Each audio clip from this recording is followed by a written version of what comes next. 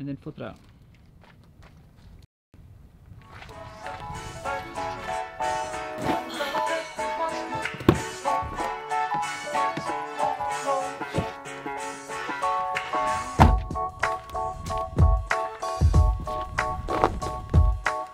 You see this weight? We have a little bit of a love-hate relationship.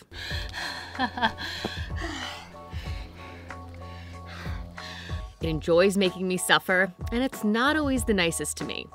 But I also kind of love it. Lots of you have asked us, how do we stay fit on the road? Well, the road to fitness is a fairly simple one, but most of you are not going to like our answer. Eat smart and move more. Oh no, God! No, God, please, no! Now, if you didn't click off from that, we're gonna break it down for you so that you can benefit. But don't worry, we're gonna keep it super sweet and simple because fitness doesn't have to be complicated. Okay, the first part, eat smart. Everyone says that, but what does it mean? Well, let's break it down into two simple rules. Decide once and have a routine. So what does decide once mean? Well, studies have shown that we have a finite amount of decision-making power every single day. So consider it like a fuel tank that fills up in the morning and every single decision you make pulls a little bit of fuel out of your tank. And this is why Steve Jobs wore the same outfit every single day. He understood this principle and wanted to remove one simple decision, what to wear, out of his daily routine so he had more power to make more important decisions. Now, how do you decide once with food? Quick shout out to our sponsor, Cuts. If you want to get some super cool workout gear like this, click the link below and use the code ROAMAROO. Okay, back to the healthy stuff. One of the most important things is figuring out what you don't want to eat. Now, this is your weakness. Is it ice cream? Is it chips? I'm ice cream, Scott's chips. Whatever it is, don't have it in the house. Donate it, throw it away, just get rid of it. If it's in the house, you're gonna be tempted by it. And this is the same thing when it comes to the grocery store. If you don't wanna include it in your diet, don't buy it. Now, if you have ice cream or chips in your house and you see them, every time you see them, you're gonna have to ask yourself, do I wanna eat that? And right there, that's a decision that you don't need to make. Ultimately, you wanna set yourself up for success, which means not having any tempting, delicious foods around. Now, this doesn't mean that you never get to have it, it just means that you might have to take a special trip to go get it. Okay, the second rule have a routine. Now, we mainly eat the same thing every single day. Sounds boring, right? Well, not if you take the time to make every item just how you want it. So, we have a wonderful cappuccino.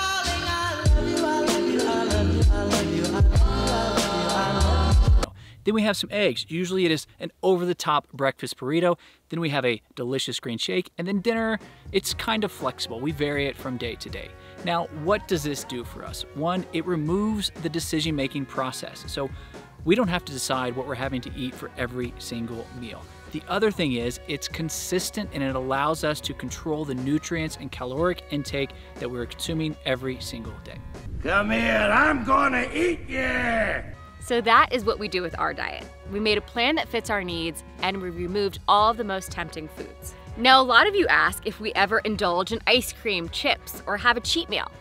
Well, first of all, I like to call it a treat meal. And yes, we do indulge. Did somebody say treat meal? This guy and his chips, he loves them.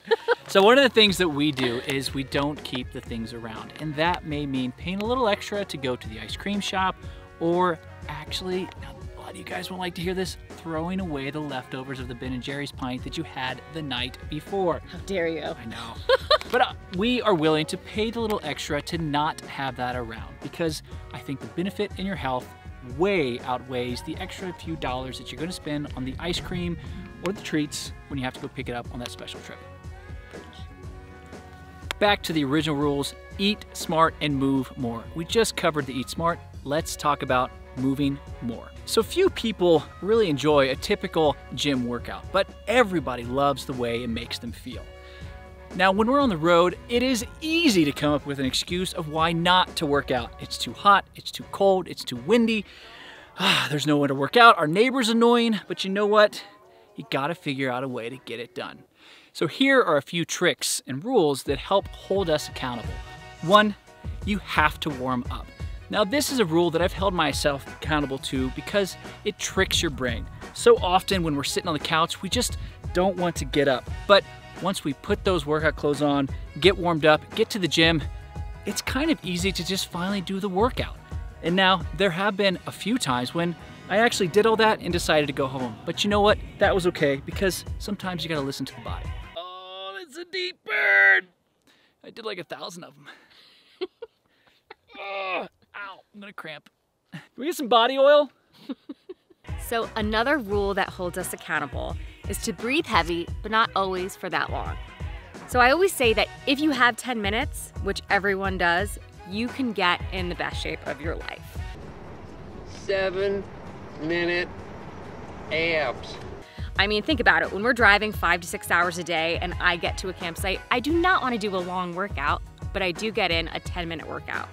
Now, if you have 10 minutes, and I know that all of you have 10 minutes to dedicate to yourselves, even if that's just going for a walk, doing 10 minutes of push ups, doing 10 minutes of air squats, whatever you can do, do it efficiently, breathe heavy, and it doesn't have to be for hours on end. And the last thing is have a plan. Write down what you want to do, if it's to work out three or four times a week, and actually write out your workouts because when you get to the end of the day and you're tired and you're trying to figure out what to do for your workout, if you want to work out, these are all decisions that you have to make when your brain is exhausted. So make these decisions when your brain is full. You know, Sunday afternoon, when you've got time and you're sitting on the couch, write these workouts down, set the plan, and be ready to go to hit the week at 100%. I, s- I sound kind of like Tony Horton right now. Tip of the day don't smash your face. Do your best and forget the rest.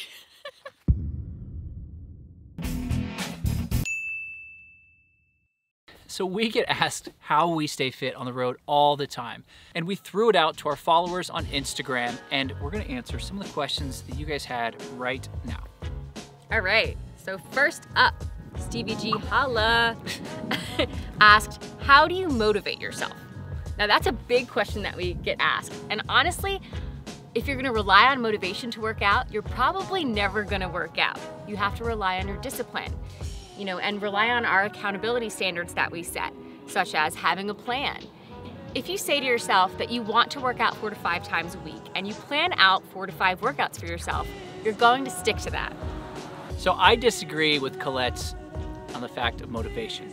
I my rule that helps me get motivated is the rule of warming up because once you're at the gym in your workout clothes and you're starting to get the blood flow, at that point it's a lot easier to start the workout than when you're sitting on the couch. So it's a combination of discipline and motivation. Because I know personally, after a six hour drive with the Airstream and I park, I do not want to work out. I really don't, but I know that I will feel better afterwards. So if I had set a standard for myself of saying I am going to work out when I get to my campsite, I'm going to work out when I get to my campsite. Because the promises you make to yourself are the ones that are the most important. Next question. All right, next question. How often do y'all work out when traveling? This is from Karishma.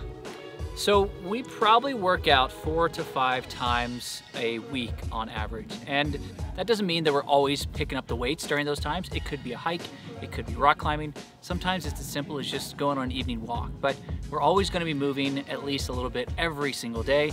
And we try to motivate ourselves to do some workouts four to five times a day.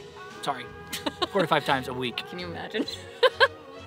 Carly Glazer asked, When I travel, I want to eat all the foods and drink all the drinks. That's my girl. How do you find balance? You don't. that's the that's the perfect answer. Is when you are traveling and you're in Italy and you want to eat the food and drink the wine, do it. It's when you get back home you can relax a little bit. But the fact that we live on the road and live while traveling, we have to balance things a little bit more.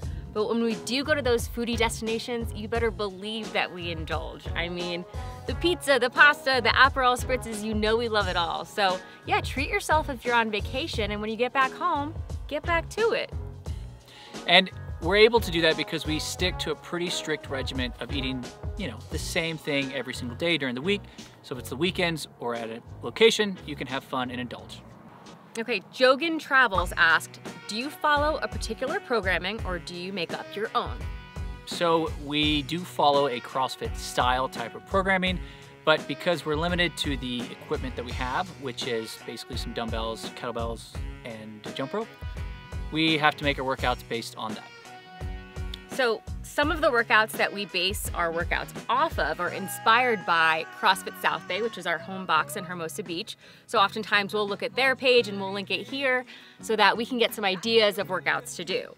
Um, some other people that I love to follow are the Movement Maestro. She always has fantastic workouts that you can do at home and at Jill Fit also has awesome workouts. So I love to get inspired by other creators and other CrossFits. Okay, Quincy Rowan asked, how many weights do you guys bring on the road? Dumbbells, kettlebells, etc. So we have, and the inventory is, one 50 pound kettlebell, two 55 pound dumbbells, one 40 pound dumbbell, two 25 pound dumbbells. That's it. Two jump ropes, Two jump ropes, two yoga mats. two yoga mats, rings, Oh yeah, muscle up rings. muscle up rings, and uh, we haven't used those too often. And we get creative too because we'll be in a park and a park bench or a picnic table. You can do step ups, you can jump up on it, do box jumps. So it's all about using your surrounding space along with what we have. Yeah, I mean, I remember going to a playground with you and we were doing pull-ups on the monkey bars. Uh, yeah, doing step-ups on anything that you can step onto. I mean, you got to get creative and, and use the surroundings that you have. Okay. Nicole VS22 asked, can you give us an example of what you eat in a day? I think we gave that earlier in the video. Did we? Yeah, I gave the exact thing. You said coffee. I said coffee. Oh yeah, egg burrito. Nicole, we've already answered your question.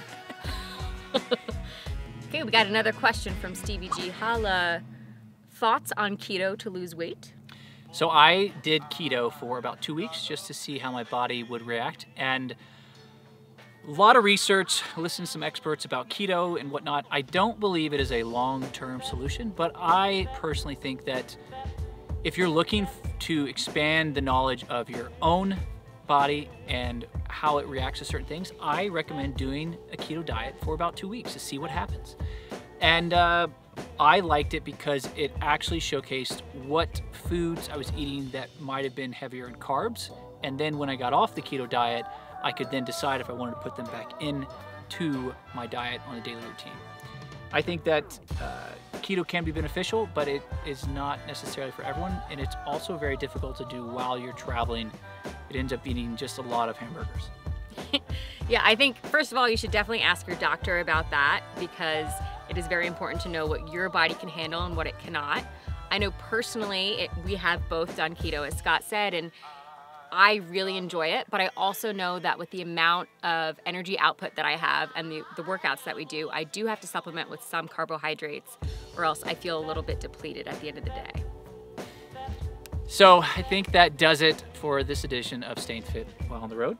But we'll probably do this again. If you guys have any more questions, please put them in the comments below and uh, we'll get to them as soon as we can. As always, I'm Scott And I'm Collette. and we are Roamaroo. And if you like what you saw, please like and subscribe below. Get out there, guys. Adios.